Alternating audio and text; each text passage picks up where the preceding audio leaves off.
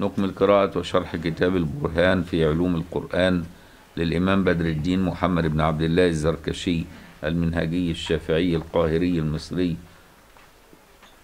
رحمه الله تعالى ونفعنا الله بعلومه وعلوم مشايخي وتلامذتي وقراء مصنفاتي وشراحها في الدارين. آمين. المجلس الثامن والتسعين بعد الثلاثمائة. وما زلنا في النوع السادس والأربعين في أساليب القرآن وفنونه البليغة. في أسلوب التقديم والتأخير وأولها السبق وله أسباب. نتكلم عن السبب الثالث عشر الاهتمام عند المخاطب. يعني يبتدي لك بالحاجة اللي هي مهمة عند المخاطب. ده من أسباب السبق يعني. فيسبق بالمهم وبعدين يجيب الأقل أهمية بعده. كقولي فحيوا بأحسن منها أو ردوها. لا شك أنك أنت التحية بأحسن منها أفضل فقدمها على رد التحية بمثلها فحيوا بأحسن منها أو ردوها. ونظير قوله عليه الصلاة والسلام وأن تقرأ السلام على من عرفت ومن لم تعرف. فبدأ من عرفت علشان إيه؟ أنت إيه؟ الغالب إنك بتسلم على اللي تعرفه. وبعدين زود عليه ومن لم تعرف كمان. من عرفته ومن لم تعرفه. وقوله ولذي القربى واليتامى والمساكين. في الصدقات بدأ بذي القربى للاهتمام بهم لأنها صدقة وصلة. واليتامى والمساكين لأن اليتامى أعم من إيه؟ يعني اليتامى أخص لشدة الضعف والمساكين الفقر وقد يكون قويا. لكن اليتيم يعني مجتمع عليه الضعف وإيه والفقر. لكن المسكين الفقر بس قد يكون قوي البدن لكنه فقير. وكقولي ومن قتل مؤمنا خطأ فتحرير رقبة مؤمنة. فبدأ بالتأيه بالتحرير الرقبة قبل إيه؟ قبل الدية.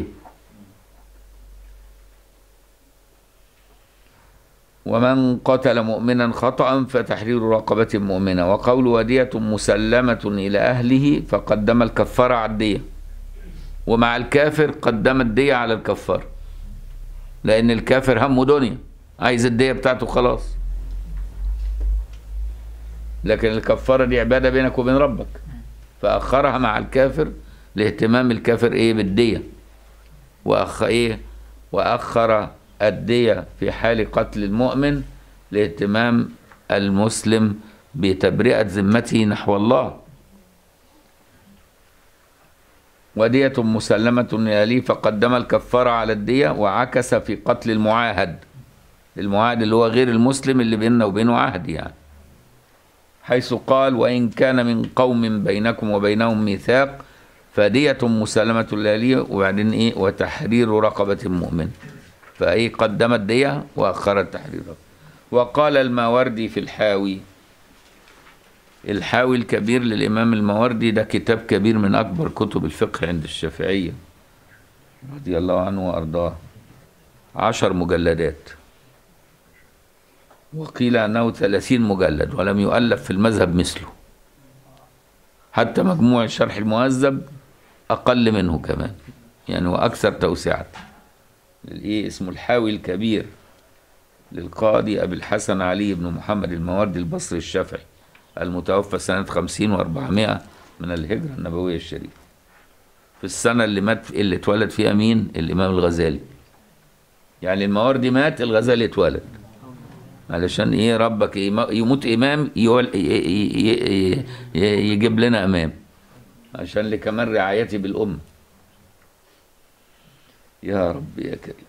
وقال الماوردي في الحاوي ووجهه أن المسلم يرى تقديم حق الله على نفسه. علشان كده قدم إيه؟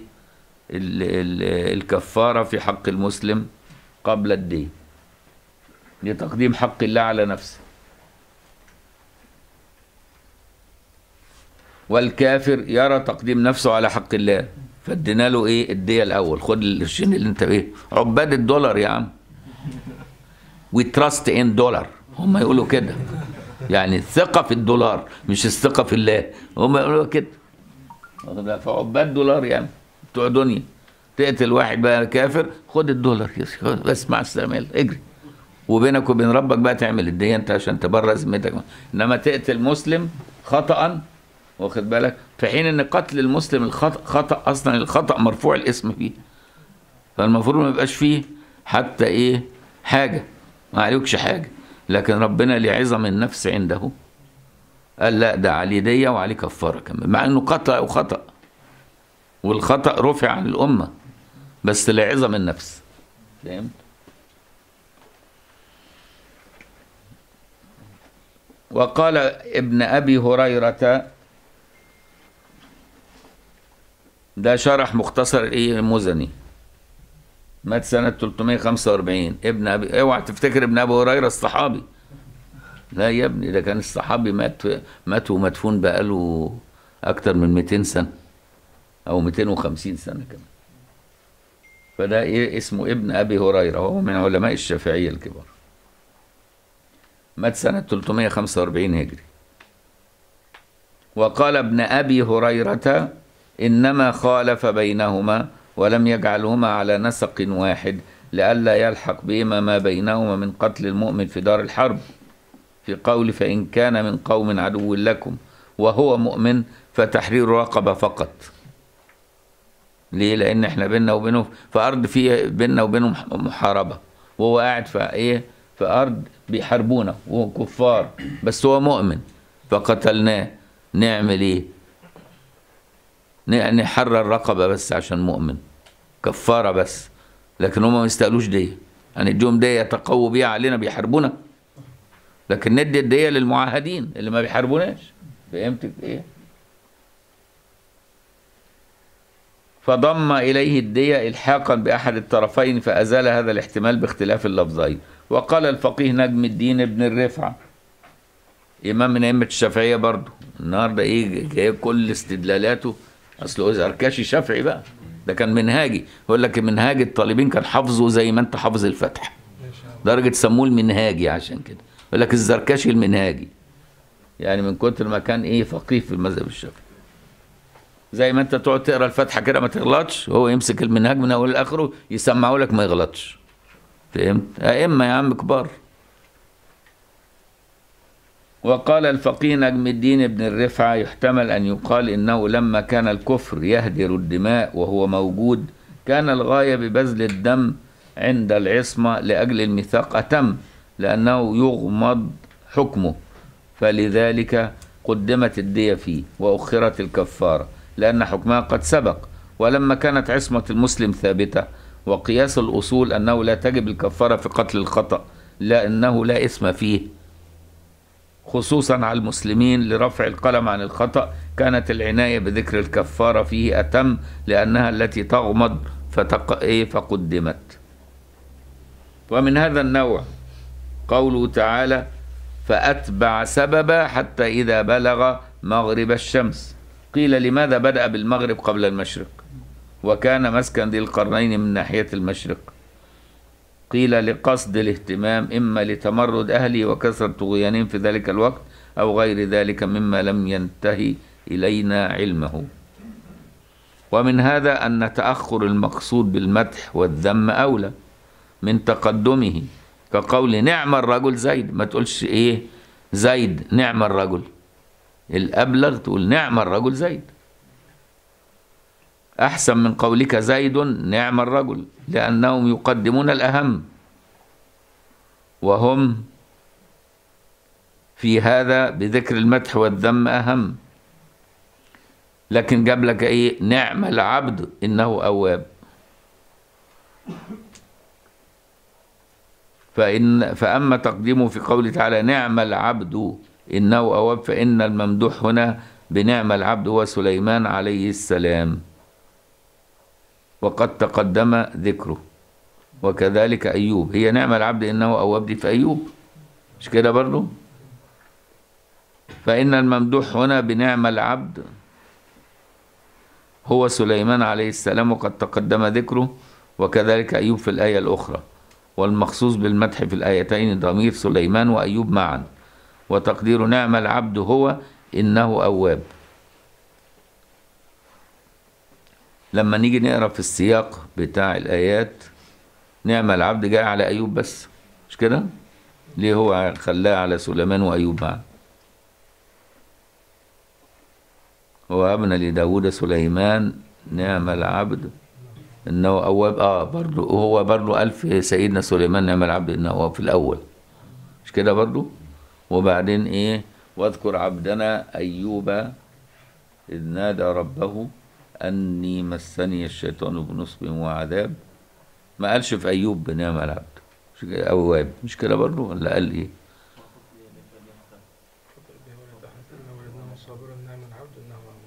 إن وجدناه صابرا. نعم العبد نواب قالها في الآخر برضه.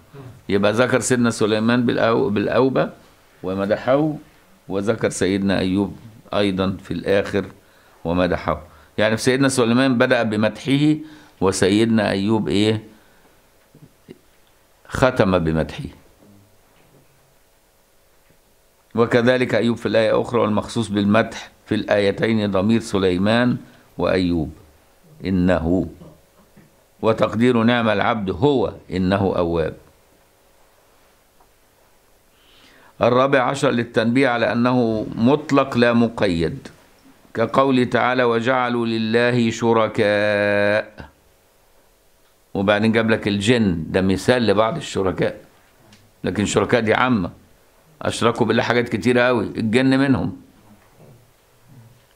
وجعلوا لله شركاء الجن والجن منهم يعني من ضمن الشركاء اللي عبدت من دون الله. على القول بأن الله في موضع المفعول الثاني لجعل وشركاء مفعول أول ويكون الجن في كلام ثاني مقدر كأنه قيل. فمن جعلوا شركاء؟ يعني كأنه بيقول إيه؟ وجعلوا شركاء لله. فواحد قال زي مين؟ قال لك الجن. كأنها مقدرة بهذه الصورة يعني.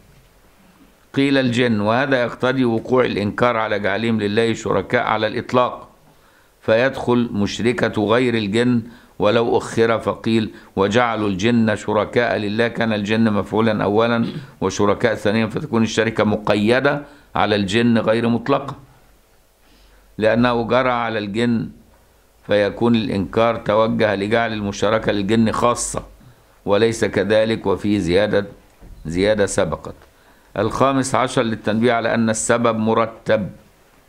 كقوله تعالى يوم يحمى عليها في نار جهنم فتكوى بها جباههم وجنوبهم وظهورهم.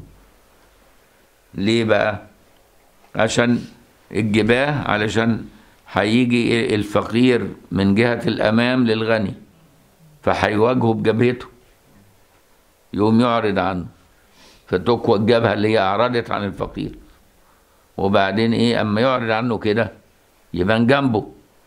وتكوى جبههم وبعدين يديله ظهره ويمشي. وظهوره. فدي الترتيب اللي بيحصل مع الغني البخيل لما إيه يواجه فقير. يقطب جبهته يكشر يعني. وبعدين يروح مديله جنبه وبعدين إيه مديله ظهره وماشي. فبدأ إيه فتكوى بإيه بجباههم وجنوبهم وظهورهم. هذا ما كنستم لأنفسكم. فذوقوا ما كنتم تكنزون. يبقى قدم الجباه ثم الجنوب لأن مانع السرقة في الدنيا كان يصرف وجهه أولا عن السائل ثم ينوء بجانبه ثم يتولى بظهره.